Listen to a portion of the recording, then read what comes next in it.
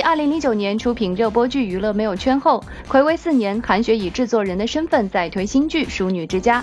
而这部以同名当红小说改编的年代剧，在六月开拍之初就收获了不少的关注。七月一日，该剧首次举行了媒体见面会，制片人兼主演韩雪携演员王琳、刘恩佑、叶童、陈翔、马天宇、王诗怀等人悉数亮相。众星云集的超豪华主创阵容，也是让现场的粉丝们欢呼雀跃。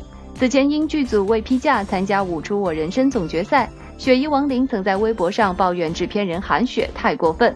不过在现场，这两人似乎早已化干戈为玉帛，其乐融融的场面也是一举粉碎了此前的不和传闻。值得一提的是，两人还一报泯恩仇，现场上演有爱一幕。舞出我人生又可以称舞出我人命，因为差点跳的命都没了。啊，呃，因为的确是双方都有难处。韩雪这儿定了的时间拍大场面，但是呢，舞出我人命呢，他又是呃半决赛以后定了决赛的时间，又没有提前通知我们。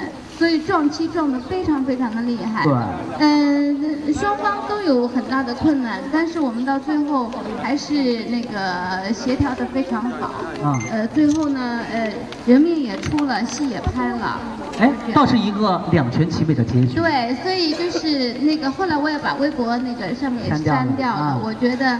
大家解决的都非常好，以理解为主，顺利处理了演员的档期问题。作为新晋制片人的韩雪，依旧每天要面对各种突发状况。面对媒体，韩雪也是有一肚子的苦水要倒。最近一段时间，一般都是睡两到三个小时，最多能睡五个小时，特别累。第一，我们戏不设监制，每天要去看回放，就是要去看每天拍摄的素材。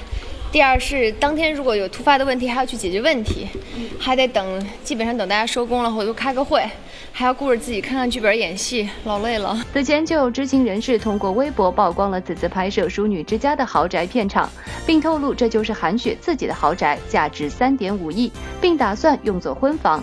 对此，我们也是第一时间向韩雪求证了这一消息。其实是那个是偷换了一个概念，其实大家不太了解，我们这个戏啊是由两部分组成的。